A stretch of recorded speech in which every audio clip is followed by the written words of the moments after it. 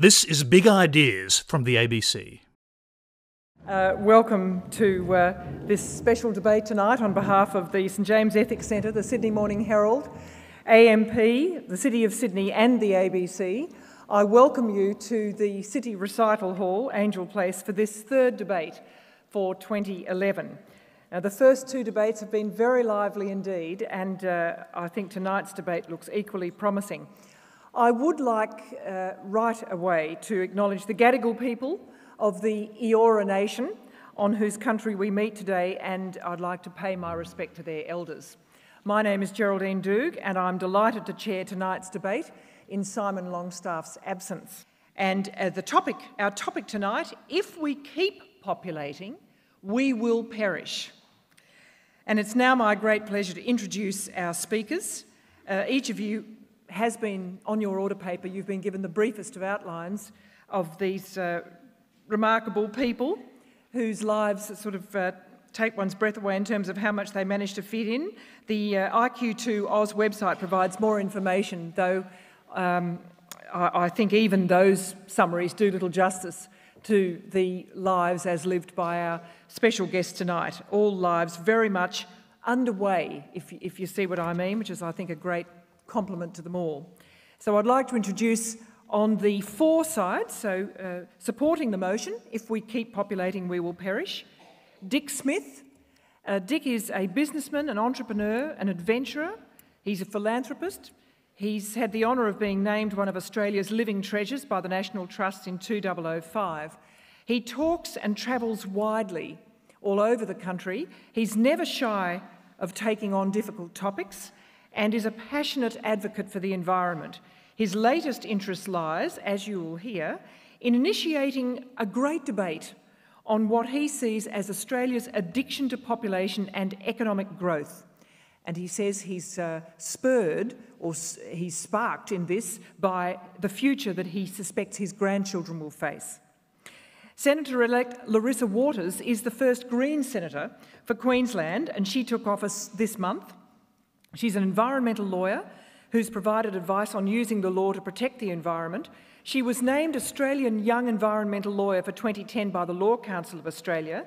And in the Senate, she plans to move amendments to federal laws to better protect the reef, to promote renewable energy, and to protect good quality agricultural land from incompatible land uses.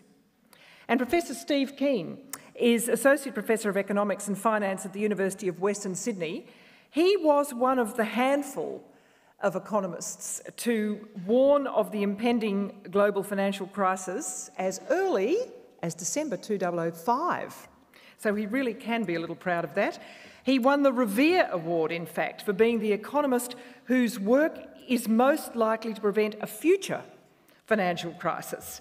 And uh, his communication skills, he tells us, were honed in his pre academic career a very multi talented career, which included stints as a school librarian, as an education officer for an NGO, as a conference organiser, computer programmer, journalist for the computer press, and economic commentator for ABC Radio National and Radio Australia. So there's a, a very good, broad suite of skills there.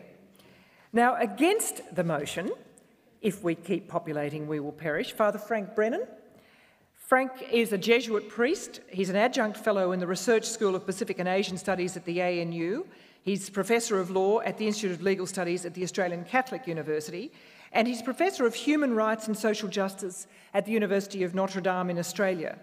He was the founding director of Uniya, which is the Australian Jesuit Social Justice Centre. He returned to Australia in 2005 from a fellowship at Boston College, and I think is widely known uh, for his writing and his commentating. Wayne Goss was Premier of Queensland from 1989 till 1996, having worked as a solicitor before he entered politics in 1983. He's currently chairman of Deloitte Australia, Ausenco Limited, and Free TV Australia Limited. He's an ambassador for the Australian Indigenous Education Foundation. He's been awarded honorary doctorates of the university from the QUT, Queensland University of Technology, Griffith University, and the University of Queensland. And Dr. Tanveer Ahmed is a psychiatrist and opinion columnist for the Sydney Morning Herald. He often writes, as you may have uh, read of late, about immigration and multiculturalism and broader matters as well. He's a former foreign affairs journalist for SBS, and his first book, The Exotic Rissole, will be published in October of this year. Maybe I'll line him up right now for my program. So, ladies and gentlemen, would you please welcome all our special speakers tonight?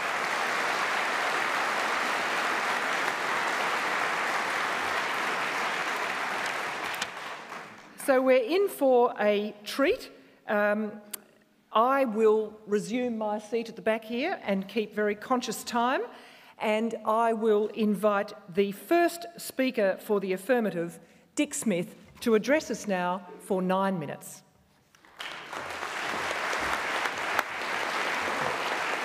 Uh, thank you very much. Keep populating. Well, obviously, this statement is referring to our present system of exponential growth in population.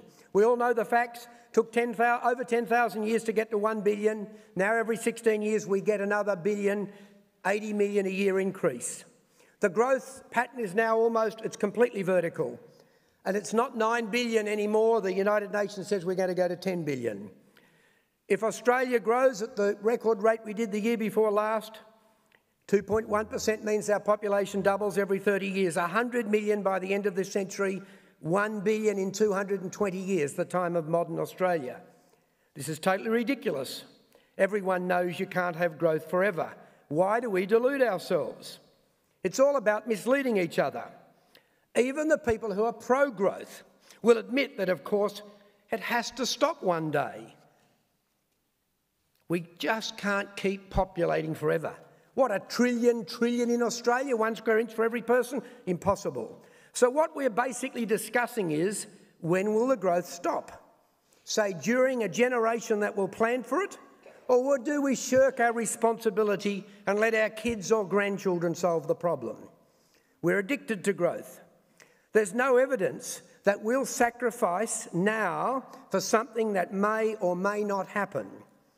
When Churchill warned that Hitler should be held to account to international law, most people said, oh, well, we don't really know if something will go wrong.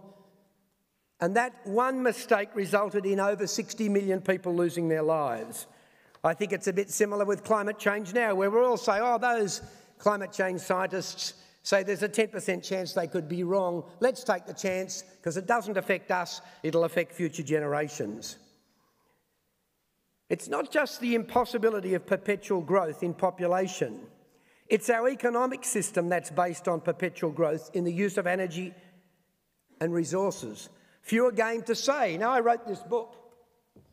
Dick Smith's Population Crisis The Dangers of Sustainable Growth for Australia. It's the greatest flop in Australian publishing history. Conveniently, I've got a rubbish bin here. Look at that. You can get these for nothing. The greatest flop. It's interesting, my wife went down to Dymocks to buy one of the books, and there on the front counter was The Big Tilt by KPMG demographer Bernard Salt, spruiking up growth and selling thousands of books. When she asked for my book, it was a bit like that ad for the St George Bank where someone mentioned at the barbecue that he was a banker and there was just complete silence. She eventually got one of my books from out the back in a brown paper cover. Because business doesn't want to mention that growth is not sustainable. It's, it's interesting. I happen to believe that we could actually have 100 million people in Australia. We could have five Dubais between Brisbane and uh, Cairns. Rupert Murdoch wrote to me and said, Well, Dick, I think 100 million might be too many, but who knows? There's a lot of growth left. Of course, he would say that. But here's the problem. If you go to 100 million, it's great for the wealthy because there are more consumers, for people like me to make more money. But what about typical Aussies? I think we've either gone past the sweet point or we're close to it. It's interesting, for the first time, our gross domestic product per head is more than that of the USA. People say if we had 300 million like the USA, we'd be wealthier. Well, the wealthy would be wealthier, but typical Australians would be less well off because you're spreading the finite cake among more people. Now, you have to be completely devoid of common sense or a mainstream economist not to accept that perpetual growth is impossible. It's just like perpetual motion machines.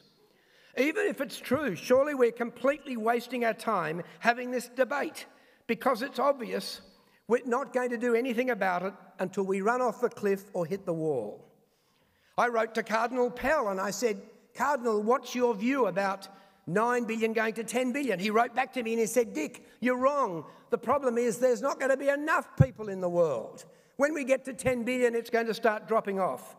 And in my book, I cover the fact, hold on, just throw a few more away that the official doctrine of the Catholic Church decrees, inverted commas, the intrinsic evil of contraception. It is held to be definitive and irreformable. Now, it's interesting because in Italy, it has one of the lowest fertility rates in the world 1.39, way below replacement level. Sensible mothers in Italy, right? Maybe there's no Catholics there, I don't know. In the Philippines, where the church retains its, uh, its authority, the fertility rate is 3.03. It's an absolute catastrophe. Backyard abortions are on the increase, one of the few countries in the world. It's the highest for decades. One in six end up with horrific complications and death. Man's inhumanity to man is incredible. Now, it's interesting. We already have one billion people hungry in this world, while the other side will be spruiking growth. I asked Bob Brown two years ago why isn't the Greens strong, have a strong policy on population? And he said, Dick, two reasons. The Murdoch press, he said, they'll constantly attack us if we don't support growth. And he said also, people will be called racist if you mention growth. First of all, let's look at the Murdoch press, totally addicted to growth. They have one responsibility to improve the return to their shareholders. No one links the present problems in the UK with this constant pressure for growth. Imagine the staff of News Limited. How can we get growth? How can we get more people to buy our products? We've got to get more people in the population. The racism claims are interesting. They're mainly used to stop people from saying that exponential growth is impossible. Personally, I'd like to see our population stabilise. I'm a disciple of the Labor backbencher Kelvin Thomson. I'd like to see our net immigration be about 75,000 per annum, which is still very high by international standards. I'd love to see a substantial increase in our humanitarian intake. Borders are never fair, but it would be good if we could make them a little fairer. Now, we can have a fantastic economic system without perpetual growth in consumption and resources and a stable population. Hold on, just throw a few more of those books away. Ladies and gentlemen, if we keep populating, that is, to keep exponentially increasing our population, our human civilization as we know it today will undoubtedly collapse. Are we to be like locusts that breed in billions and then perish in billions? Or could we copy the Aboriginal Eora civilization that was mentioned at the start? It lived in this continent for tens of thousands of years, sustainably and with a stable population? I hope it's the latter. Thank you.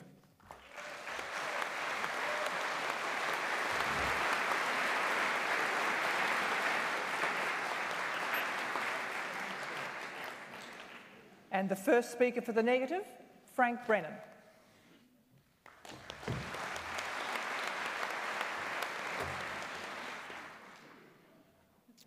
Good evening, ladies and gentlemen. Great to be with you. You might remember the old poem, We'll all be ruined, said Hanrahan. Why would we be ruined? Well, it'd vary from season to season rain, drought, or snow. But tonight, we're to be told by our opponents no, it's simple. We'll all be ruined. Why? Because there's too many of us. The recent Australian survey of social attitudes asked the question Do you think Australia needs more people? 72% answered no, so I presume that reflects the audience here tonight. So, I and my colleagues, we have an uphill battle. But I don't think the relevant question is about needing more people. What we'll be putting to you tonight is that there's a certain reality that we're going to confront. And can we be sensible as we approach the issue of population? For our side, we don't believe that the world is at any significant risk of buckling under the sheer weight of population numbers, but we don't have to prove that, because even if it were, we don't believe there's anything significant Australia could do to reduce the risk of that buckling. See, we've already heard from Dick, this argument, it works on two levels. There's discussion about the inevitable increase in world population, which will go from 7 to 9.3 billion by that magical year, 2050. But then there's the question about what will be our sustainable population here in Australia. On our side, we're quite happy at the idea that Australia will be sustainable with a population of about 36 million in 2050. We think you can be smart about that, and we think you can be humane about that. You see, the problem with this two aspect debate, it's a little as if we were to be told that at the end of the night, this auditorium is going to be filled to overflowing. But up here on the stage, there's not going to be any change. Unlike you in the auditorium, you in the globe out there, we up here on the stage in Australia, we have control. And at the moment, we have seven people up here, and we're going to be allowed to decide whether at the end of the night we'll have eight or nine people up here, or five or six people up here. That there's still going to be an auditorium which is teeming with people out there. I think both sides are agreed. There's next to nothing we can do about that teeming of the world's population, and yet we, living in the island nation continent we do, we focus increasingly on what's going to be the state of this stage. Five people, nine people, whatever. So, having set that global backdrop, I'd like to consider a little more dispassionately what are the issues that contribute to deciding how many to have on this stage. Questions about fertility, ageing, net overseas migration. And then from Wayne, someone who's been a Premier, a business consultant, hearing about the present boom and how we can be smart in adapting to that with a realistic population policy. And then from Tanveer himself, a migrant from Bangladesh, now a psychiatrist just back from doing his service in Armidale, outback regional Australia, this very day, how immigrants contribute so much to the aggregate of ideas in this country. And so, our argument to you tonight is that indeed there will be inevitable increases in population in the world. Yes, we in Australia do have more control over some matters, but let's now look at what we do control. Why we're in a privileged situation in Australia is, of course, that we now have a very educated population. And as great writers like Amartya Sen have made very clear, what contributes most on arguments about fertility is the education and the availability of work for the women in your society. And what we do know is that 42% of the world's population live in low fertility countries like Australia.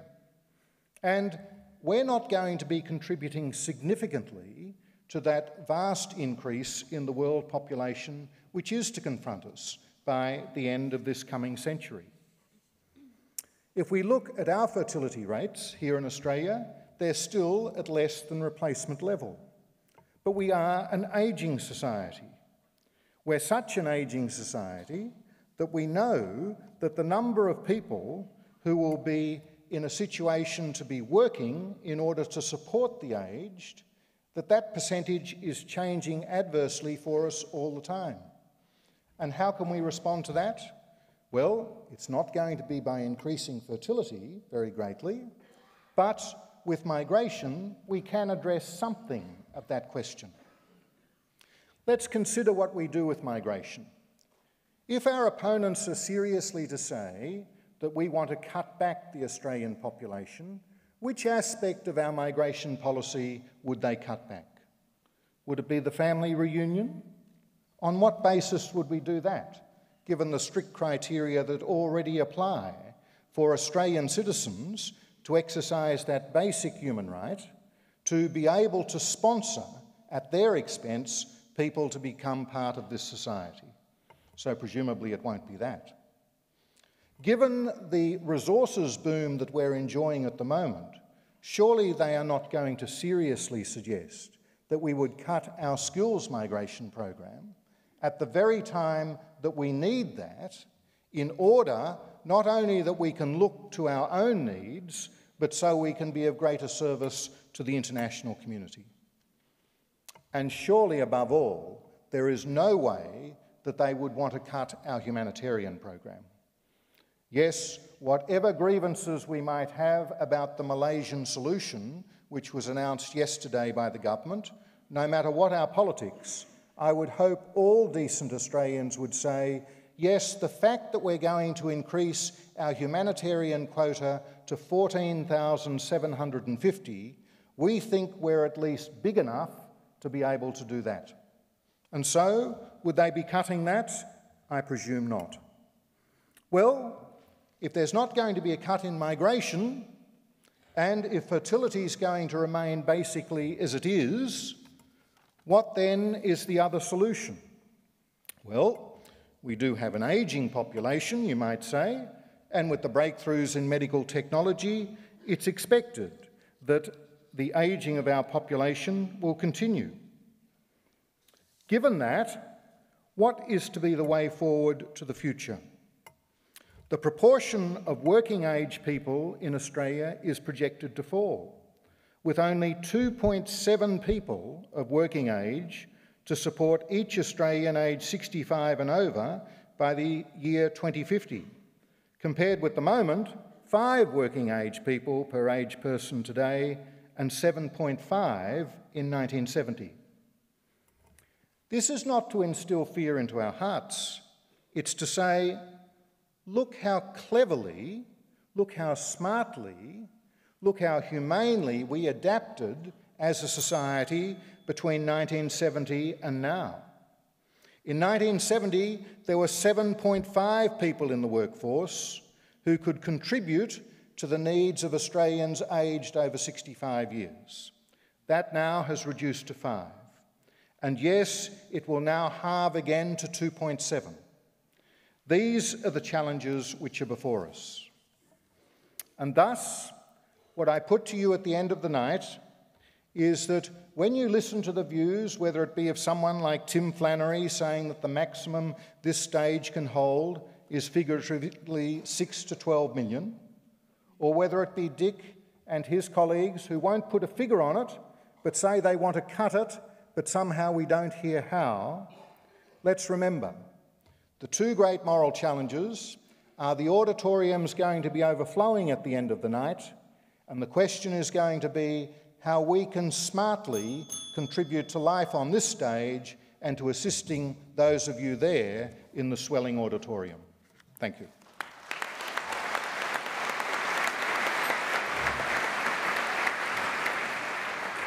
Second speaker for the affirmative, Larissa Waters. Good evening, everyone. I'd like to start by adding my acknowledgement of the traditional owners of the land, the Gadigal people of the Eora Nation. Uh, and I'm afraid, as a lawyer and a politician, I'm not going to be funny at all. So uh, forgive me for that. But I am proud to be a member of a parliamentary political party which has a population policy, and I believe we're still the only ones. So, a key aspect of that policy is that the Greens believe the planet simply cannot support 9.2 billion people by 2050, and that global population growth is a global problem that requires a global solution. But Australia needs to play its part in that. The Greens have been advocating for Australia's overseas aid budget to be increased to 0.7% of GNP, as the UN has suggested, with a focus on funding for literacy and reproductive health programs for women and girls. Now, such programs empower women globally and they give them a brighter future and they give them the chance to control their own reproductive future. And that's a really important social justice issue. Uh, and it is a shame that there's only one woman on the panel tonight. But the Greens also believe that Australia's fragile environment cannot sustainably support the projected 36 billion people by 2050. Nationally, our current population growth is outstripping our infrastructure, our quality of life, and our environmental limits. We think that our population size should be at a level to ensure the protection of quality of life and the environment. Now, that should entail a rethink of the levels of skilled migration, which has quadrupled in the past decade. But humanitarian intake, of course, hasn't gone anywhere. Now, I think it would be a much more compassionate approach to share this nation's prosperity with people who really need it, like asylum seekers and, of course, climate refugees, which we're going to see an awful lot of, and focus on increasing the skills of Australians, and particularly young Australians, to fill those skill shortages. So, with that said, tonight I've got the task of convincing you that if we populate, keep populating, we will perish. So, I'm going to start local and then go global. Uh, now, I come from southeast Queensland, which until very recently was the fastest growing region of Australia.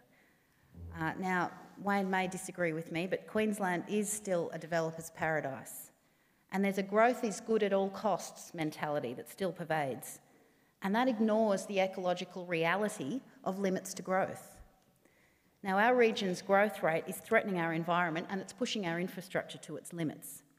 Until very recently, we were in drastic drought with no sustainable water supply. Affordable housing is a thing of the past. Our roads are clogged and our public hospital waiting lists are immense.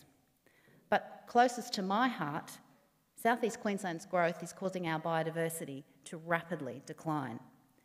Now, the number of koalas in Queensland, which was once estimated to be in the millions, is now thought to be 25 to 30,000 in the southeast bioregion, with as few as 500 koalas in the Koala Coast, the so called Koala Coast region of the Redlands. Uh, well, the experts are saying that by 2020 there may not be any koalas in the Koala Coast, so perhaps it'll just be the coast. Now, I don't think that we have a right to let our development addiction, our growth fetish, determine the fate of other species uh, and end their fate. So it's, on, it's that focus on other species, this planet's glorious biodiversity, that I want to focus on tonight. Uh, now, you may know Australia has been declared one of the 17 most biodiverse countries in the world. We're in fact considered mega biodiverse, which is a bit of a mouthful. Carrying this planet's richness, that, that brings a special responsibility for us.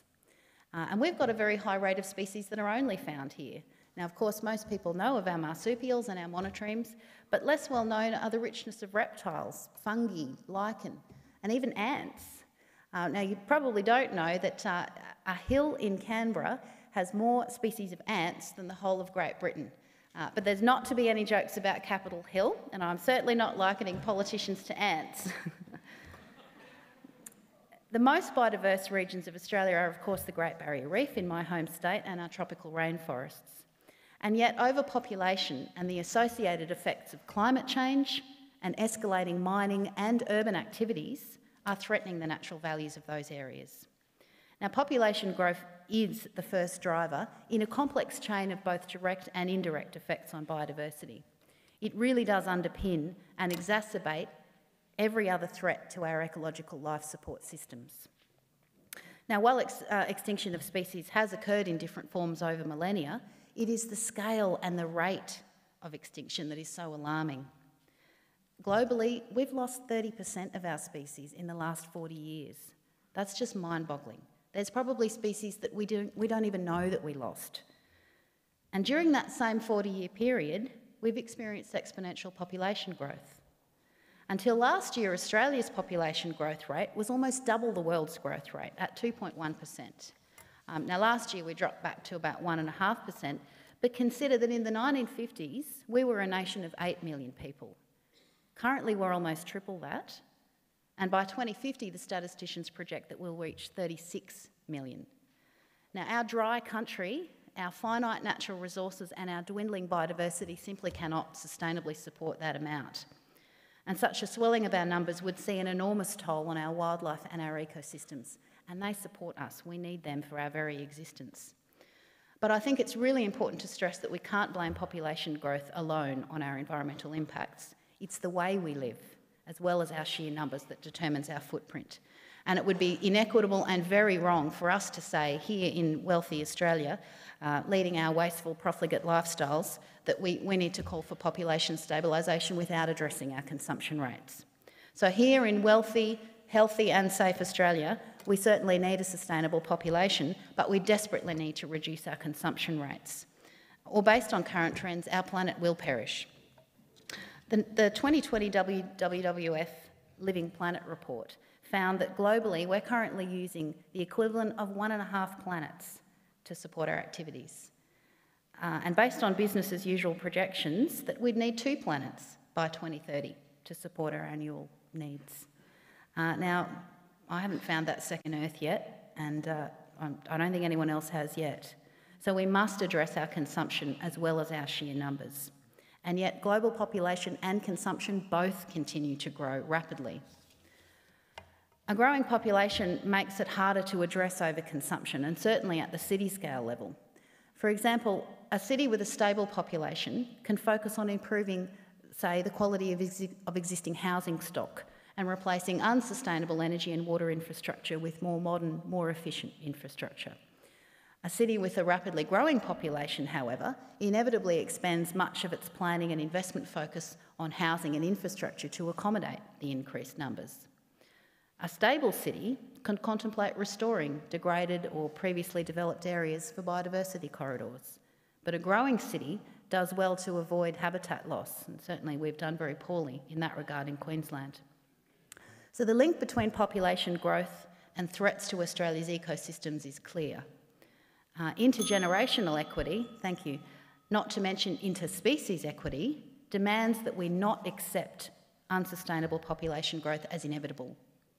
The capacity of our planet and the equitable distribution of its resources must underpin this planet's sustainable population level instead of a blind commitment to growth at all costs, because the cost surely will mean that we will perish. Thanks, everyone.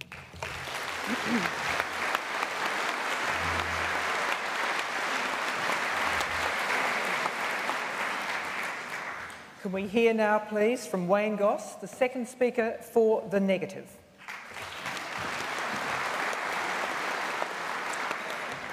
Ladies and gentlemen, because you are a sophisticated audience, our team has decided that we will not be offering bribes in the form of free books, nor will we be trying to scare the pants off you with predictions about the end of the planet.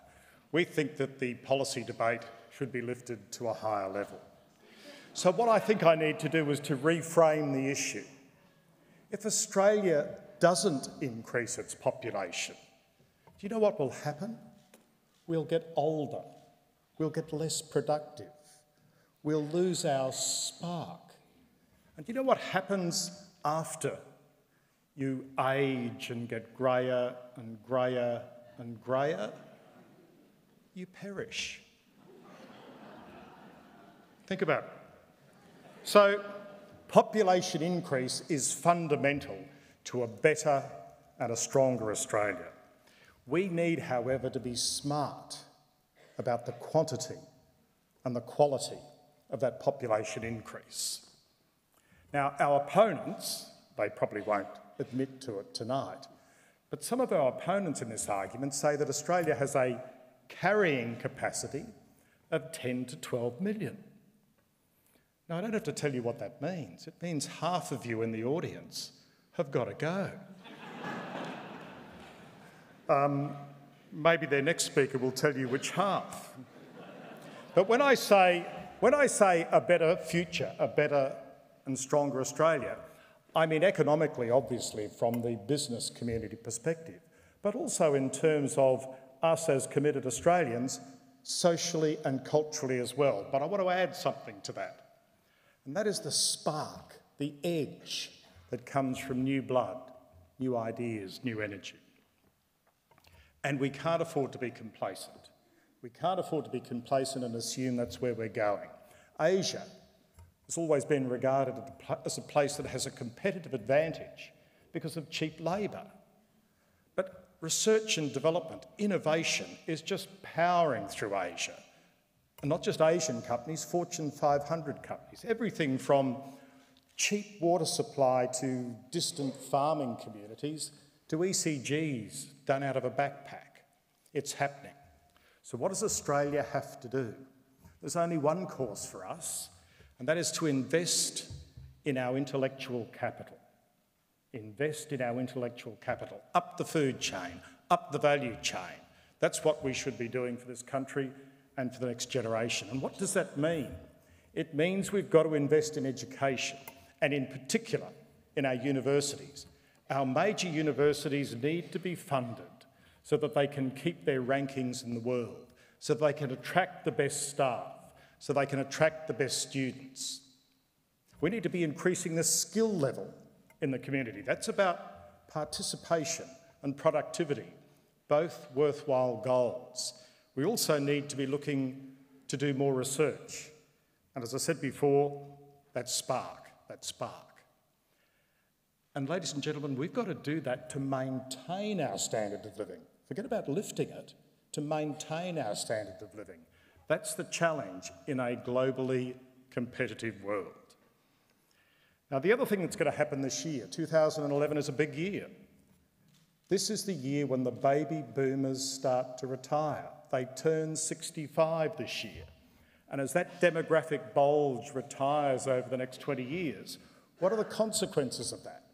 Firstly, lower economic growth. Secondly, a lower standard of living. Lesser quality of life for retirees on a whole range of fronts, but look at health in particular.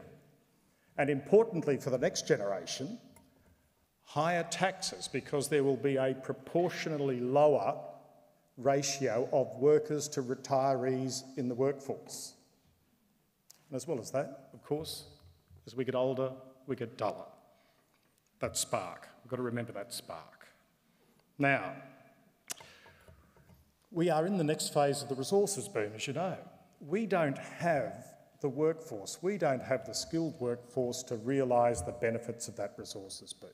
Now, there are good things happening. There are good things happening in terms of skilled migration, in terms of lifting the skills of our current workforce, in terms of providing training to people who are on welfare, welfare who can work and want to work. They're all good. But we've got to stay the course. We've got to stay the course on that. And while you may think I'm talking about the resources boom, I'm talking about the resources boom in the short term. In the long term, what that builds is a better and stronger Australia. What are the results of lower migration? What are the results of lower migration combined with a strong economy, strong dollar? Well, you know what it is. It's higher wages in some sectors, sectors and higher inflation. Shame on you. But the benefits, the benefits of higher migration, and we're talking on our side of you know, what's happening at the moment, about 170, 180,000. The benefits are, and all the studies show this, higher wages. They earn higher wages, which of course means they pay higher taxes. In addition to that, there's a lower age profile. And as well as that, and I know it's hard to model, but Steve might tell us whether you can model it or not, the edge, the edge, the spark that comes from new blood, new energy, new ideas. Should never underrate that in terms of the contribution that can make economically, socially, and culturally to Australia. Now, many, many years ago, in fact, in another century, I used to be somebody. and one of the things I was involved in in those days was COAG, the Council of Australian Governments. We actually achieved one or two things. But the reason we achieved one or two things is because you had a group of leaders who were prepared to work across levels of government and across party political allegiances to say, what's the right policy? What's the goal that we should have as a country? And find a way to get there. That's about hard decisions, but smart policy is the way to address hard decisions. Now, I know that for people like our opponents and shock jocks, when you're sitting in the traffic, it's very easy to get you cheesed off about a greater population. But a sophisticated audience like this not only cares about, it's true, isn't it? Not only cares about quality of life and the environment,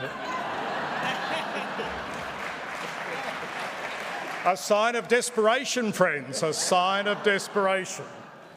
They also believe that here is an opportunity for this country, that Australians should be positive about this country, we should be positive about the future, and that with smart policies, smart policies, we can get there. Now, by the way, I just want to interrupt for a second to say they never say where the half of you who have to leave will have to go. Now, it won't be north because that's pretty crowded already. That means they're sending you to New Zealand. Not that there's anything wrong with New Zealand, but think about it. Friends, Australia has a great opportunity. Let's seize it.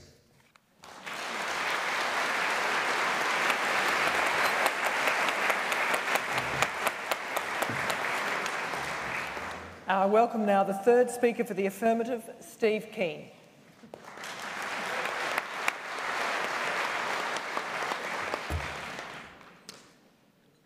You're not just sophisticated. Pardon me for laryngitis yet again in my second IQ debate, my second dose of laryngitis in 10 years. You're not just a sophisticated audience, you're a very peculiar one. Look around. Re- there's something really strange about this audience. Can you tell? You're all bipedal monkeys.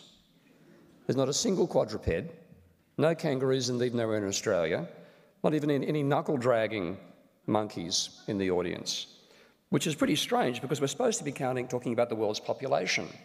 But what we mean by population isn't the entire planet's number of living animals, or even living plants. We mean the number of bipedal monkeys. So by rising population, what we're really saying is that we're wondering whether the population of bipedal monkeys can keep on rising forever.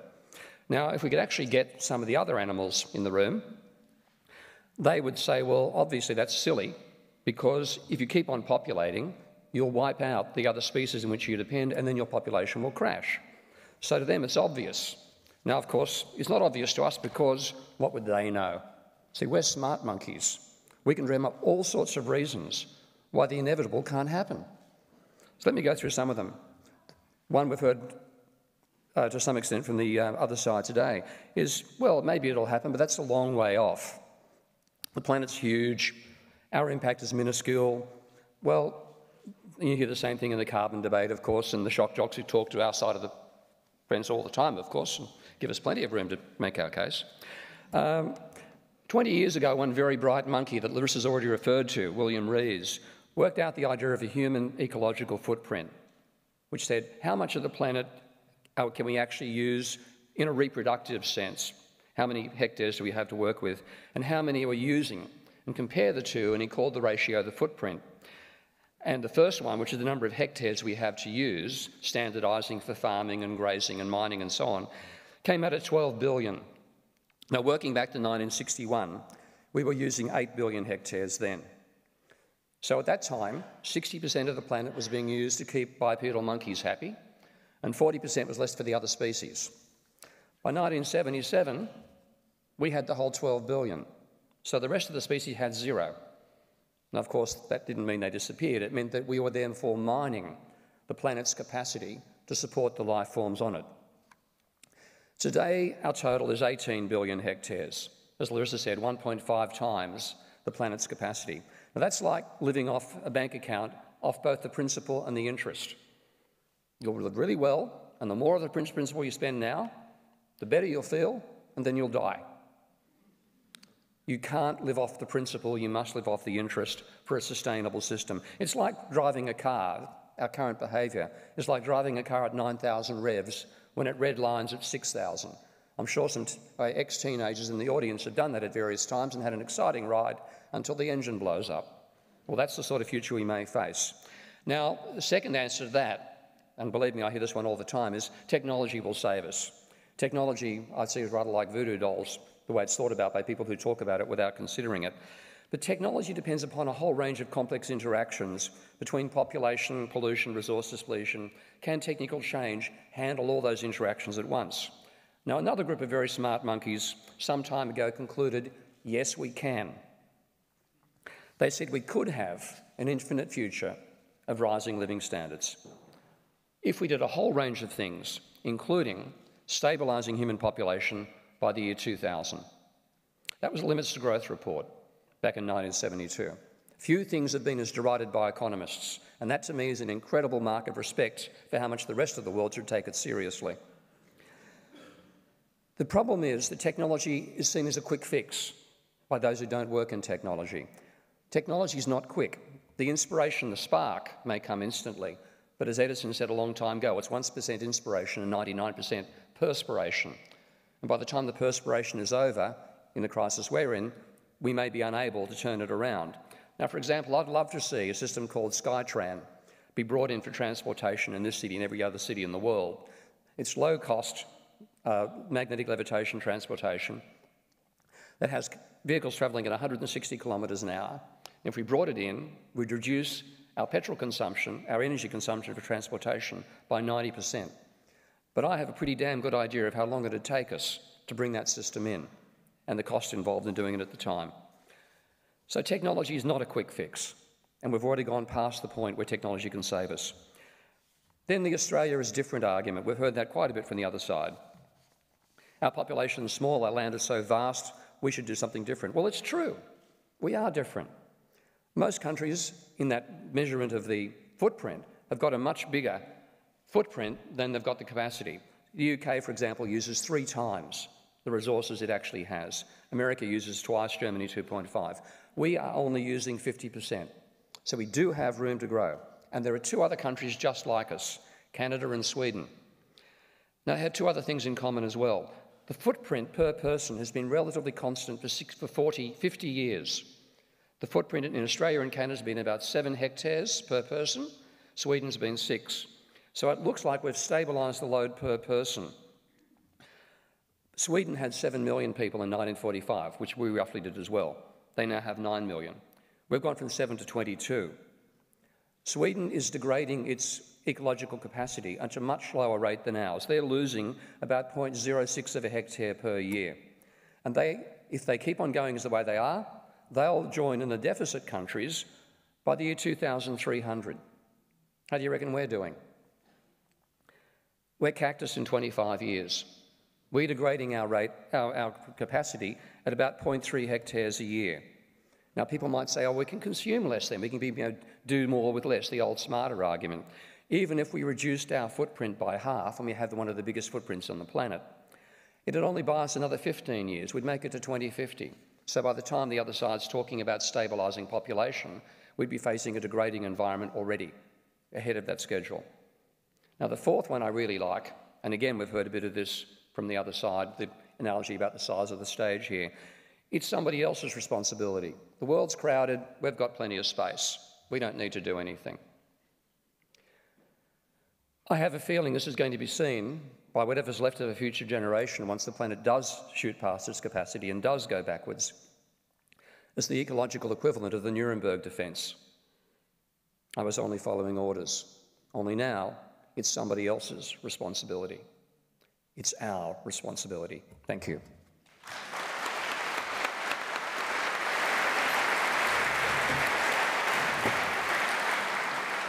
And Tanveer Ahmed, the third speaker for the negative.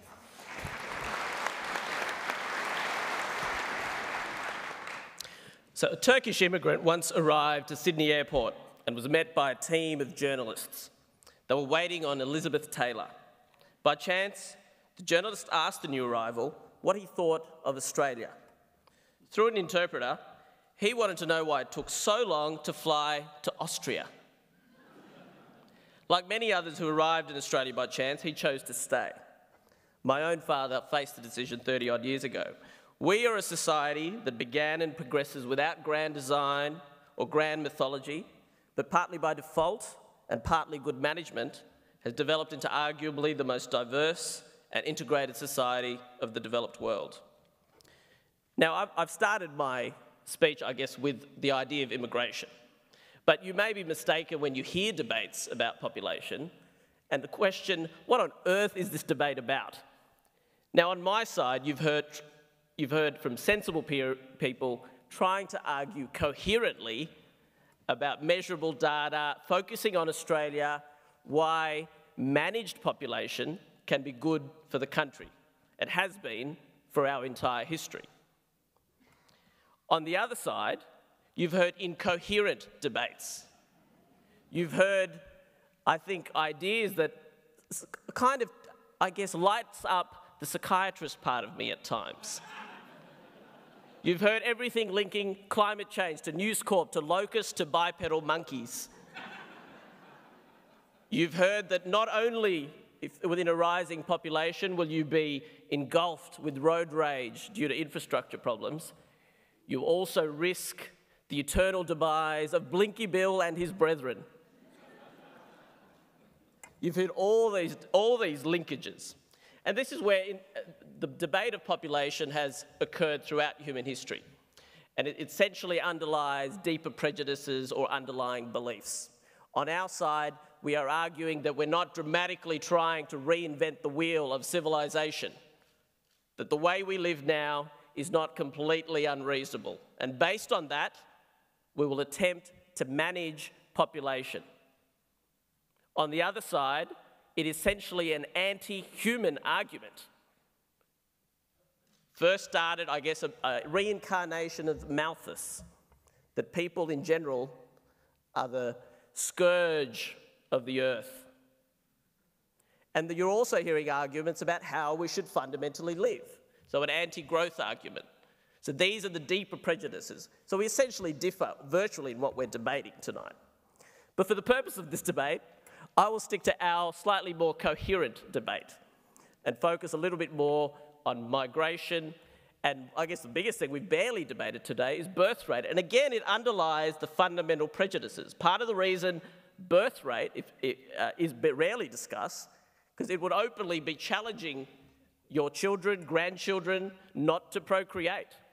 And let's hear how that runs down. So, fundamental human uh, uh, biology, if you like. So, these are the underlying prejudices. But let me, for a moment, focus on migration. Since Federation, there have been moves to curb immigration from the labour movement worried about cheap labour threatening unskilled workers, from groups worried about social cohesion, and from geographers and environmental groups expressing their concerns about the carrying capacity of our parched continent. Immigration is not a fundamental expectation ingrained into our psyche, perhaps like the United States, and I think fears of it are deeply rooted in our national identity. But each of these fears, and if you take a poll in the last 50, 60 years, every time the populace will, uh, uh, uh, the majority will argue against immigration. Yet we've had absolutely tremendous immigration and it's, and it's formed the, I guess, one of the real fundamental pillars of our society. So this is, I guess, a typical populist reaction that's always existed. And they've largely been disproved each time because we manage our migration very well. And we heard an argument from the senator talking about we should, it's very easy to go, uh, um, I guess, try for compassion, one upmanship, and demand that we should limit our skilled migration as opposed to increasing our refugee intake. When in fact, we already have the highest per capita refugee intake in the uh, developed world. And those of us who actually work closely with refugees will know that refugees require far greater resources. They have much higher rates of unemployment, much higher rates of welfare. That is fact. So it requires significantly uh, more management. And we should be proud of our intake, but it's not as simple as taking, waving the compassion flag and say, let's just take more. And it illustrates again some of the naive, populist arguments of our opponents. While initial waves of post war migration comprised of relatively unskilled and helped with massive infrastructure schemes, recent decades have focused on employer driven skilled labour. Their needs have driven our economy further, enriched the culture and fabric of our nation, and their children are, by and large, through their disproportionate drive and entrepreneurialism, even more successful, rising to the highest levels of our professional and managerial classes. And this is really what I want to focus on. And you've heard it to an extent from my teammates. And this is what's most critical for our rising population that the diversity, dynamism, and constant regeneration, which is actually the most difficult to model on economist models, including the Productivity Commission, and usually they don't even bother trying. This, this is actually the key and least discussed contributor of our immigration, driving the greater pool of ideas, particularly in the 21st century when knowledge societies will be critical. And this is also why the tired accusation that it's only property developers and business groups who want immigration is poorly based.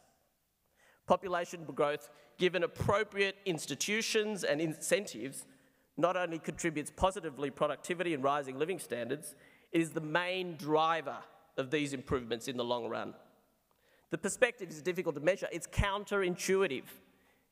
It's very simple intuition to think more people, more resources, etc but it's also simplistic because in the short-term resource constraints lead to long-term abundance. That is counterintuitive, but that is the reality. It's the mind that matters most economically, far more than mouths or hands. The most important economic effect of population size and growth is the contribution of additional people to our stock of useful knowledge. And this alone is large enough in the, in the long run to overcome all the costs of population growth. Now, it may appear, and you've heard from my teammates, that the environmental argument is a new one, but this is actually almost uniquely strong in Australian history, right from Griffith Taylor, who coined the term carrying capacity and said we couldn't hold more than 20 million people, to modern incarnations like Tim Flannery. It's been particularly powerful in Australia and is ultimately Malthusian, which has repeatedly been disproved but there are always modern reincarnations, a la Dick, Dick Smith. Now, a faster growing population will require investment in housing and infrastructure.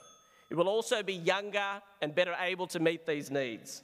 A more slowly growing one requires fewer investments in housing, roads and schools, but will be significantly older, and the, which means the cost of healthcare and pensions will rise while the tax base falls.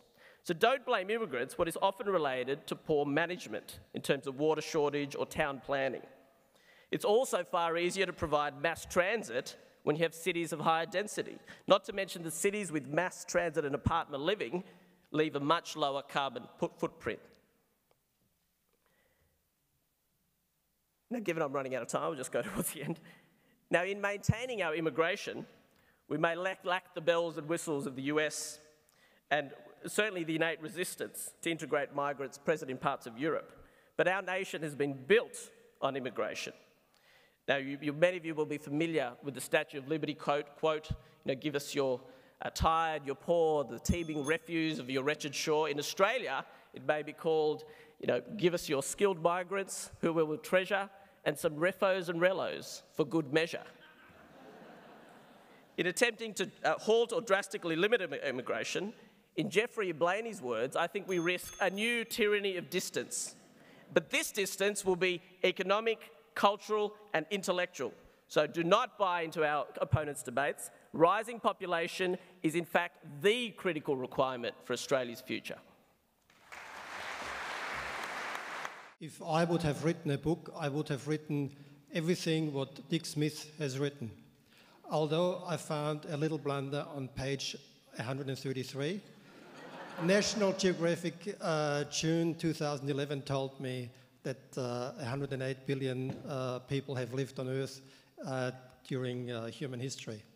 Anyway, but I think nobody during the discussion went to the very root of the problem. Reading the sentence on page 143. Just make more, it faster. Yeah, more than a billion children born in the next 40 years will be condemned to a life of poverty and inequality made me think again, and it always has puzzled me. How on earth did nobody have the decency to ask me if I actually wanted to be born? Thank you. Thank you very much. Yes, uh, please. I uh, just want to say that I'm getting a little tired of the old ageing problem.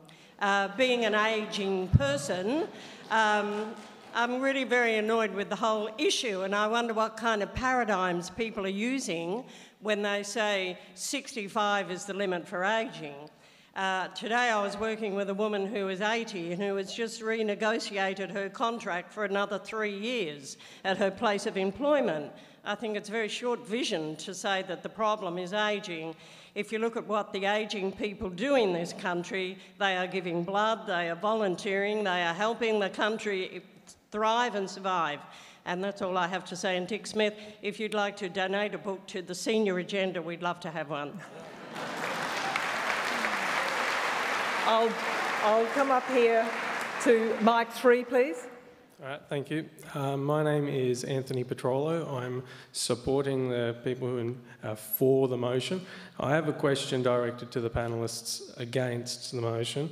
Um, in recent times, we're seeing a lot more uh, technology in our modern society, more technology which is replacing services, and we're seeing, um, especially really recent times, we're seeing a lack in um, uh, confidence in regards to spending. Now, one point I'd like to make is a comment from Tim Jackson, who says that economic growth cannot keep growing on a planet with finite resources. Now, based on the two points I've made, how can you support that, the idea of constantly growing the population when we're seeing services being cut and when, as Tim Jackson acknowledged, our resources are finite? Thank you. I might take that on. Does, do you want to answer that, Wayne? Um, it's a very valid question, and I think a lot of people have that question in their own minds. But the challenge for Australia is we have to overcome these issues, and we're talking about 35, 36 million. And we believe, we believe that Australia can cope with such a population. We've got a lot of smart people in this country. Those challenges can and will be addressed. I've got no doubt about that. Question, uh, Mike Four, please. Yes, good evening. My name is Nathan. I am a Conservative. I sincerely hope that I'm not alone in the room. Now, conservatism by definition means wishing to conserve. And I see two luminaries of the left participating in the debate this evening, and I feel embarrassed. And therefore, my suggestion is that the only way we're going to get movement on this subject is if this becomes a far more mainstream issue than has hitherto been the case. I'm embarrassed that the Conservative side of politics doesn't have a population policy, and we should. Moreover, that policy should fix a number and should work towards its implementation. Mr Goss, you said that one of the reasons that we needed to have a greater population was to cope with the resources boom.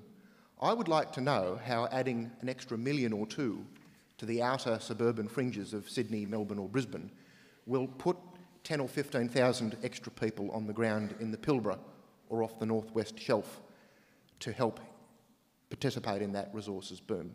And Mr Brennan, you've used an analogy of the burgeoning room and the comparatively sparsely populated stage. In Somalia, as we speak, there is an unprecedented humanitarian crisis occurring as famine grips that land, but they have 7.2 children each. Are you suggesting that we should share in that fate? Thank you. Thank you. Now, do we have, by my reckoning, we have had three questions for the, in support of the motion. We've had one against. Uh, is, are there any against just to try to even it up? Anybody against? Yes, would you mind? Just, I'll just let that lady. Thank you. Jasmine. I'm. Uh, um, I feel concerned about the way in which the debate has happened because it disconnects uh, from consumption. So I'm. Arguably with a very small population, Australia managed, Australians managed to ruin our topsoil. So uh, because we had policies that said we had to clear the land, for example. And so what I um, uh, am interested in from the um, uh, for group is how will reducing population to 20 million actually curb the consumption and the kinds of ways in which people expand. And I, I will just point out that the uh, house size per Australian household in New South Wales has doubled within eight years. Uh, and I, I um, as people have fewer people, they have more bedrooms or bathrooms. It's curious. Conundrums. Um, Steve, do you want to take that up? no? Interesting. topsoil. My hearing is bad, by the way. I might mishear your question, but topsoil depletion is uh, one of these remarkable things that pe people you all have to be an expert in the area to actually know what's going on. I met one a couple of months ago, and he told me that on current calculations, uh, this won't be sustained, of course, because that'd be the end of human civilization. But at current rate of depletion on a planetary scale, we've got about 25 years of topsoil left. We talked about Queensland, the growth in Queensland. We saw the floods in Queensland last year as well, and saw the topsoil rushing off into the barrier but Steve, reef. the question was the conundrum of the fewer people, yeah. bigger houses, more consumption. Oh, Contradictory. the, the, the, whole, the whole, the, uh, getting into McMansion territory is one of the things that caused our problem. But ironically, as I said, our footprint's been rather constant over the last 40 years. We've done more wasteful things, we've done them more efficiently. So therefore, we've maintained our burden on the planet. And we have to do two things. We've got to reduce that burden per head, and we've got to keep our numbers constrained. And unfortunately, every last calculation you look at to say, can we do it by consuming less and let population grow, or by faster technology and let population grow? The answer is always no. Unless we stabilise that as well, then doing the other things won't be enough. Could I have Mike 5, please, at the top? Hi, good evening. My name is Donnie Maclurcan. I'm from the Post Growth Institute. My question to the negative tonight is the rate of global population growth is actually decreasing. Systems of economic growth are based on an ever increasing population. So, when the, do the members of the affirmative suggest that we start planning different economic systems that don't rely on ever increasing populations and growth? Yes, Dick. Yes, I can I can answer that, and um, unfortunately, in nine minutes, I can't cover the research I've done. But uh, I believe, as a capitalist who's benefited greatly from growth, that we can have a system of capitalism which is based on sustainability, which will concentrate on growth in quality of life, growth in less working hours, dare I say it, instead of spending so half of the products in a typical shopping centre are just rubbish but we have to keep buying them and making them, otherwise, we'll have recession. Instead of doing that, I believe we can change our economy so we have capitalism, but we're thriving in a different way. But you're not going to do that. Growth is such an easy way of making money that you're not going to do that until you get some leadership. One of the other contributors mentioned that it needs to become mainstream. And maybe in my two minute closing bit, I will mention why it hasn't become mainstream in Australia. Mark 1, please. Go forth and multiply. We've done that, and now the paradigm needs to be sharing and planning so that we can share. Since my parents were born, the human population has quadrupled. It's a different world now. We need to give women especially, the chance to manage their lives and fertility. Only one of these people has mentioned contraception, which needs to be central to this debate. Now, I work for a foundation, we raise funds for a contraception component in overseas aid. There are women who need to be able to delay having childbearing until their bones are formed and who need to be able to finish before that last pregnancy, which is a killer. If you look at climate change, to save one tonne of carbon dioxide, you can spend four British pounds, this is British research, on contraception. That would equal eight pounds spent on tree planting, 15 pounds spent on wind power, 31 pounds on solar generation. We need to do it all.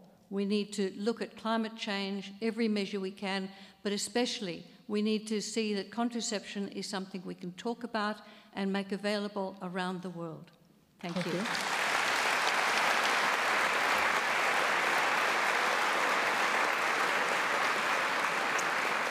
Microphone two. Thank you, sir. Thank you. Uh, I uh, feel guilty on two counts. One is I bought the big tilt and I really enjoyed it. I'm sorry, Dick, but I'll get your book and, uh, uh and I'll try and remedy that after hearing you tonight. I certainly will. And the other is, uh, I'm sorry to be, uh, have reached the point where my spark has got a bit dimmer because of Mr. Goss. I mean, are you sure you're not just. are you sure that just doesn't happen in Queensland? not from what the, I've seen the, in Sydney. The, the, two things, the two things that are missing in terms of mention, in terms of population growth, this is a deliberately ambiguous question, so whatever polling you do is not going to really reflect anything. But the, but the, the point is you, the growth is happening in the Middle East. Is that where women are going to be educated? And how quickly is it going to happen? Because you look at the statistics, it's all happening around the Horn of Africa and the Middle East. I mean, the numbers are really, really amazing how different it is in the world. And people ought to concentrate on just what are the cultural aspects which enable that to continue. China has not been mentioned. I mean, with, the, with these amazing distortions that are happening in their society with the one child per family, and of course, a lot of uh, uh, infanticide. I mean, it's an amazing phenomenon that we haven't even in this debate mentioned what China has done in this world. Thank you. Can we take that just on notice? I think, I think it's just a. Yes, please, microphone three. Can dumb monkeys have dreams, or are they dumb because they have dreams? I just, in summary, I really think that Australia, in my view, as an engineer, I hope I'm not a dumb monkey, but I do dream.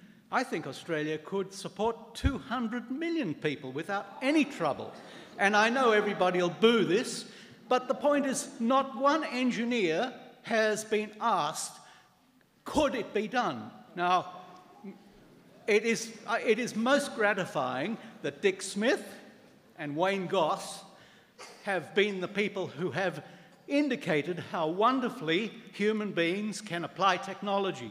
We have a responsibility as dumb monkeys or smart monkeys or human beings. Are we going to ask the question is a koala more important than a refugee child fleeing from an intolerable dictatorship where no amount of argy bargy, military action, or foreign aid will help that child other than bringing it to Australia or a country like Australia. Thank you, sir. Right. Now I'm going to just go. Is that uh, microphone six, just because we haven't had been up there? Thanks. Uh, William Bourke from the Stable Population Party. Um, quick question for Senator Waters. Uh, with regard to the Greens uh, population policy, does it um, mention the baby bonus? And the second uh, question is with regard to the uh, against team. Um, there was constant assertions that immigration makes Australia younger. Are they aware that uh, one in 10 Australian born are over 65, yet uh, two in 10 uh, overseas born Australians are over 65? Do you wish to follow through or will I keep going? I don't think. I can only speak for myself and say I'm not aware. yes, sir, down here, it's number one. Oh, actually, Larissa would just like to respond, yes. If it's this ID's working, yeah. Thank you for that, William. Uh, as you know, we were really pleased that the baby bonus doesn't exist anymore, and it's now paid parental leave. It's a valid payment, a fortnightly means-tested payment to help with the costs of a new baby, and we think that's absolutely fabulous. So I think we're on the same page there. Yes, sir. My name is Chris Spike from Sustainable Population Australia. I'd like to. Um, pick up something that Wayne Goss said uh, about 2011 being an important year with the baby boomers starting to retire. Another important year turns out to be 2008, which is widely being regarded as the year of peak oil.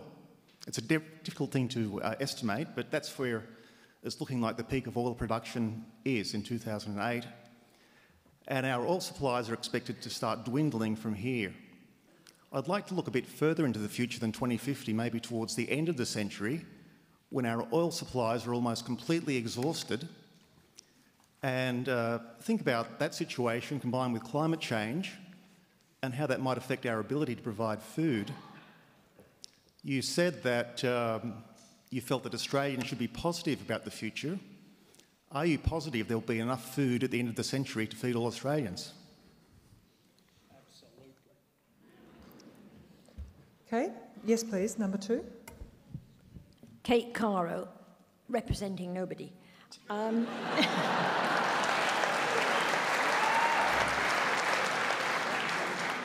um, as a migrant, I feel I can't argue against immigration. As a mother of four, I feel I can't criticise people who want children. Um, as a historian, I'd like to draw attention uh, to Malthus, who's already been uh, uh, uh, referred to, and to Ehrlich. both of whom predicted doom very shortly to follow. Uh, neither of these disasters took place. And in both cases, technology, the human ingenuity, solved the problem. Um, I hope it will again. And it seems to me, though, that uh, prosperity reduces reproduction. Prosperous societies generally don't replace themselves. Um, so I think we should be concentrating far more than we do on helping to create prosperity in, the, in those places where ch children, seven, eight, nine children, half of whom may die, but still increasing the population too quickly, are born in order to support their parents in their old age. Um, that is where our attention should be going, rather than trying to undertake what seems to me the impossible task of reducing global population, even stabilizing global population, short of World War III. Thank you. And I think we'll just give our questioner final quick uh, question number five, uh, Mark five. Um, hi there, my name is Kirsty. I'm a medical scientist. I just wanted to reply to the engineer. Um, you may be able to build housing for 200 million people, billion people, but those people need to drink water and they need nutriment. And in a vastly arid country, which is our continent, um, we have already seen the effects of small droughts. And in the future, how is that possible without water and nutriment? Thank you. Thank you. Well, thank you all. I think they do certainly give us a very good indication of a range of attitudes, which maybe our speakers will uh, uh, draw into their final remarks. Now I'm going to ask you to vote, and we're going to pass along the voting boxes. And I will ask you to be prompt with those because we move this along very fast now. Now, though, if you notice, remember the question is if we keep populating, we will perish. So if you agree with that, you're voting for the motion and you tear your ticket in half and put it in the box. If you do not agree, uh, then you're voting against the motion and similarly you, put the, you tear the ticket in half, put it in the box. If you're undecided, you effectively you put the whole ticket in the box to indicate that you, you don't wish to uh, vote. You, you are effectively abstaining. Now, while you're all pondering what I think will be a very interesting set of decisions, I'm going to ask our speakers to just remain in their chairs to make two-minute closing remarks. Uh, so, Dick Smith, would you like to kick us off, please? Oh, yes, certainly. It's fascinating to me that the other side, the furthest they ever got was 2050 and 35 to 36 million people, because they just can't cover the fact that exponential growth is exponential growth and it's endless. So basically, what they're saying is, well, we'll let another generation solve the problem. The other thing is, a person from the audience asked about it becoming mainstream, and I must tell you one of the reasons for the failure in the book, because it's most apt to this particular thing. First of all, Bob Carr says the book is well written. One of the reasons it's well written is Simon Nasht, who's one of our best writers in Australia, worked with me on that book. But the, one of the main reasons it's failed is most people don't know it exists. And I knew the Murdoch press wouldn't cover it, that was well known. But people said to me, Dick, you'll find the ABC will basically never mention it. And I want to bring this out because it's important for Australians. Um, the Q&A have besieged me during my lifetime. When will I go on Q&A? And I always said, well, one day when I have something worthwhile to say. And when the book was written, which covers some really interesting information as a capitalist about how we can have a stable system, we've been in touch with them many times, and I understand there's a fatwa at the ABC that, in effect, they are so pro growth, and you only have to watch Alan Kohler on the ABC each night with the pro growth, grow, grow. His voice actually goes up an octave when he talks of growth and down. and what's amazing is that a couple of weeks ago, the 730 report rang up and said, Would I go on a panel discussion with Ziggy Switkowski and Geoff Cousins. And I thought, wow, this is a breakthrough. Uh, they've invited me on. So I rearranged everything. But the afternoon of the panel discussion, they rang up and said, oh, we've decided that we don't want you.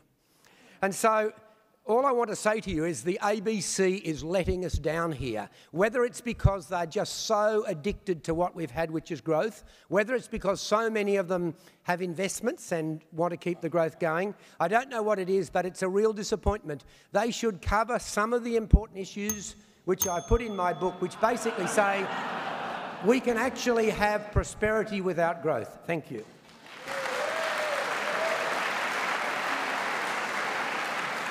Now I know why Simon left this to me, you see. Rushed off to Singapore. I will neither confirm nor deny any of this. Frank Brennan, would you care to make two minutes of closing remarks, please? So you've heard it here the world population crisis is an elaborate conspiracy of the ABC. the one consolation I can offer Dick is that if you look at history, Dick, we've heard about Malthus, his 19th century tome, it went to six editions even though it was completely wrong. So, so far, there may be hope. So far. If we think about the situation of the globe, that is the overflowing auditorium, the situation in Somalia, which Conservative Nathan rose for us at microphone four, 7.2 children per woman. I'll accept that statistic. The latest UN survey shows that if you were to look at the lowest possible variant that they can predict, Yes, population will peak at 2050 about 8.1 billion, and it could then decline to 6.2 billion by 2100. It won't be as a result of just handing out contraceptives. It will be about the education, the dignity, the work employment of women, particularly in the 39 countries of Africa most affected. In terms of the situation on stage, I'm sorry to say to those of you who get upset about the aged, that longevity is an issue. By 2050, those born who are male will live till 85. Those who are female will live till 88. Our fertility rates are not going to increase. So the question is going to be what we do about our migration levels in order to deal with that situation. Do we maintain what we have or not? Ultimately, this is not going to be a decision saying that if we maintain population, we increase our materialism. No, not at all. If we maintain our population responsibly, we will question the materialism which we presently enjoy. And that's the great moral challenge of the age. Thank you. Larissa. Thanks, Geraldine. Well, look, we only have one planet. And if we don't live within its ecological limits, then we will cease to exist. And I was really pleased that one of the questioners raised the issue of food, because coming from Queensland, we're putting coal seam gas mines and open cut coal mines on some of our best food producing land. Now, I think nationally, we've only got about 4% of Australia that's considered able to produce food. So we need to be doing all we can to protect that. And with the growing world population, and we currently are net exporters of food, we've got an obligation to feed the world as, as, as well as feeding ourselves. So thank you to the questioner for raising that point. Of course, we've got alternatives for energy, but we don't have alternatives for food. Um, we really need an equitable distribution of resources, and so I think it's great that the issue of consumption and materialism has been raised by a few speakers tonight. That's a really important one. Us as rich, wealthy, happy, safe people, we've got an obligation to make sure that our lifestyle isn't coming at the expense of others. Um, but we can have prosperity without growth. Now, a few people mentioned Tim Jackson, and uh, Dick, you referred to that as well. It is a no brainer. We can have prosperity without growth. We've got to get off this growth treadmill because we're on one planet, it's finite. We can't just make it up as we go along. We've got to live within those limits. Uh, and just to finish on that, the economy is a wholly owned subsidiary of the environment.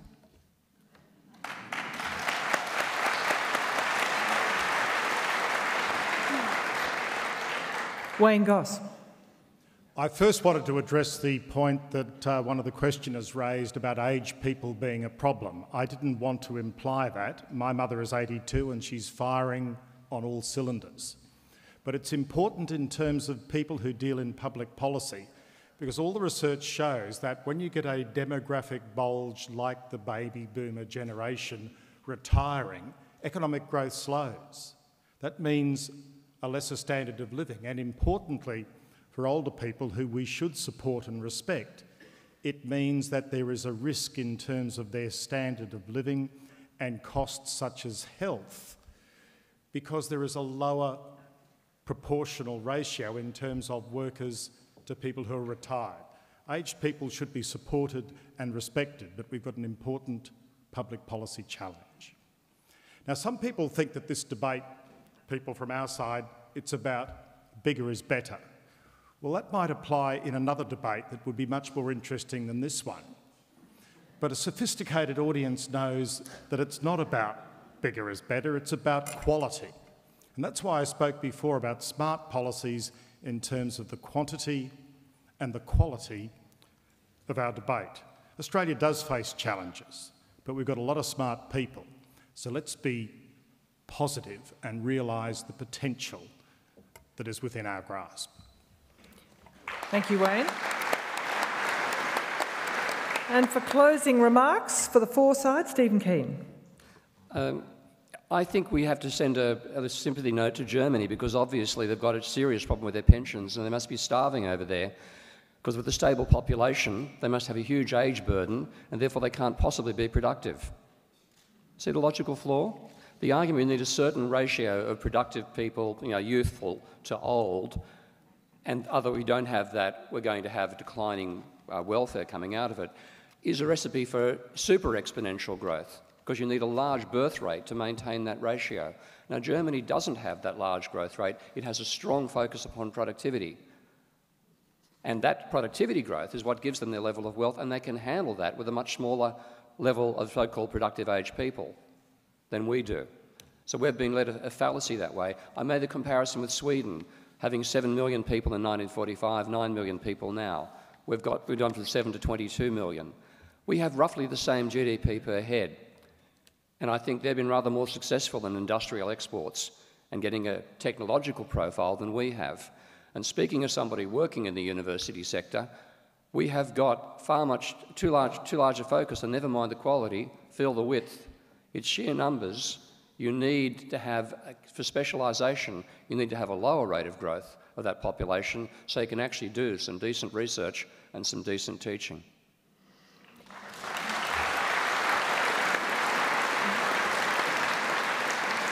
And Tanveer Ahmed, summing up for the negative? Sure. Um, history is a flow of ideas. What we're hearing from our opponents is essentially a rehash of a kind of uh, green Marxism that we, we will organise how to live, we will tell you how to live. The beauty of our system is that individuals make decisions how to live. And those collective decisions essentially build far more prosperous and dynamic societies. Just simple things. We're not automatons going, producing and consuming. While the superficiality of market liberalism may appear like that, anyone who travels around the world will see that underlying that is improved infant mortality, better life expectancy, better education, the fundamentals of, of improving human life. And economic growth, liberal market economies have done this better than any other system. I do not see what their sustainable economy exactly is yet. I would love to see the picture of that. Uh, so, uh, and just, uh, just broader things like, okay, glo- we're not, I'm not quite sure. Sometimes we're debating global population versus Australian population. Simple thing. We bring someone here, they reproduce less, they send money back home. That's a pretty good, that's a pretty good contribution to global poverty. The conservative man over there talking, again, a liberal society, we can't plan, it's very difficult to plan demographics. People do not choose to come here if it's a crap place to live and there are no jobs. Hence, it's a dynamic system. That isn't easily planned, but government policy can still drive benefits to the broader Australian population. It can be managed, and that's what we're proposing. Thank you, Tanveer. Well, now we get to the very exciting part, the pe people beavering away out the back, uh, assessing all the votes. We have quite an interesting system here. I know many of you have been here before. In a way, there are two ways of judging who wins this debate. There is the simple majority of the, of the side that gets over 50%. But there is another way, uh, as you, many of you will have been asked for your indicative attitudes as you walked in the door. We don't get everybody, it's not absolutely scientific, But in other words, people come along to debates like this with preconceived ideas. That's what brings you out. And we are always fascinated to see how much people's ideas have shifted during the course of the debate. So, have the speakers altered your views? And uh, so we'll, we'll see whether there has been, when, when the numbers are brought out to me, we'll compare and contrast from the indicative answers as to whether there has been a big shift or not. We just have a couple of tweets, well, I'll keep you hanging. Um, I wonder if, with no interference, Australia would stabilise and go to negative population growth due to low birth rates. And another tweet the current system is designed for unlimited growth, probably not useful to portray it as an addiction or a fetish. Goss tries to scare us with the threat of retired baby boomers! Exclamation. Funny thing is, though, they just keep working. So, higher wages, more innovation, less inflation, and all for the low price of dying from overpopulation. And maybe our last one the elephants in the room, peak oil, China's demographics, and Middle East growth are raised from the floor. Maybe one more. How, has anyone mentioned how life is more interesting when you have more people in a concentrated space? Okay, so here was the. Um, actually, just, just before, one more, because I do want to mention the next debate here in this great series, the IQ2 uh, debates, which have just been so successful. It's on September the 6th. Atheists are wrong. Uh, I'm going to very much turn up for this. Our speakers, a great lineup the Reverend, Most Reverend Peter Jensen, uh, the Sydney Anglican Archbishop, Dr. Tracy Rowland from John Paul II Institute, and Scott Stephens, who runs the Religion and Ethics website very well, I think, for ABC Online. They will be speaking for the notion that atheists are wrong, and against the notion will be Jane Caro, who I think many of you may know, a very prominent commentator, runs her own communications uh, consultancy. Dr. Thomas Pataki, uh, an honorary senior fellow at the University of Melbourne uh, in uh, the School of Historical and Philosophical Studies, and Russell Blackford, uh, a sci fi author, a very prominent atheist, and a wonderful speaker. He's uh, a lecturer at the University of Newcastle. So don't forget, put in your diary September the 6th. no, you're not invited to this, you've done your bit. Um, and um, always wait, want to do that to Frank Brennan. Uh, and um, one extra debate by Sydney Ideas in the Great Hall uh, at Sydney University on Tuesday, the 16th of August. We need a nanny state. So, lots of lovely uh, debates coming up if you choose to, uh, to go. Thank you very much indeed, Frank. Thanks. Now, the pre debate poll, if we keep populating, we will perish, four were uh, 358, 41.5%, against 178, 20.6%, and undecideds, 32%, 30, 327, pardon me, 37.9. So there was 41 in favour, 20% against, undecided 37.9, 38%. The final result, the final result is interesting. the for the motion, if we keep populating, we will perish, 63%, 521. Against, 212, 26%, some movement. Undecided, 89, in other words, 11%. So I have to absolutely give the result to uh, my colleagues in favour of the motion if we keep populating, we will perish.